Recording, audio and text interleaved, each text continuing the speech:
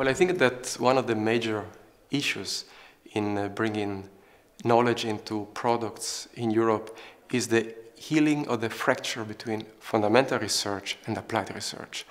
This fracture is there and was not every time there. I think to Germany, synthesis of ammonia, a very fundamentally relevant topic in research which had a huge impact in uh, generating fertilizer and unfortunately explosives out of thin air and emancipating the states uh, from Chile, uh, imports from Chile. And with this spirit, the Kaiser Wilhelm Society was, was founded in Germany.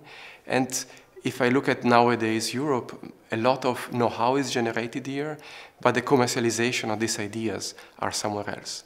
So we can look at how Asia is doing, but I don't think this could be an importable model for us, like having big conglomerating, spin off new companies, or having the state massively entering in, in the private sector.